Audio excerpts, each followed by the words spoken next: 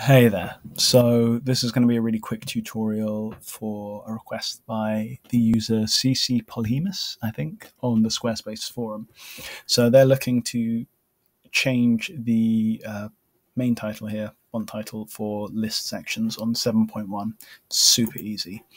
Uh, first thing, get your section ID. I've already got that open. You can use a plugin for that. I've got this one, which is called Find Squarespace IDs, or alternatively, you can inspect it and find a section ID.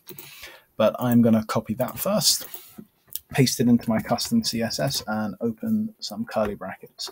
then I want to find the identifier, sorry, the class for this element, and it is a p element and it's within list section title. So I'm going to copy that, use a dot to denote that it's a class and pop a p spaces after, and I'm going to do font family and I'm going to call it custom. You can already see that's changing the font. So the only other step is I need a custom font in here.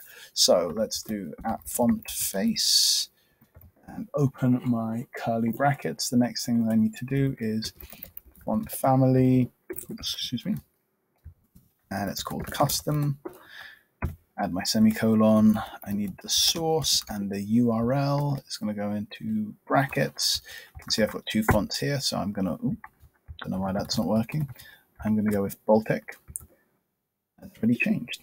And probably good practice to add format true type here as well.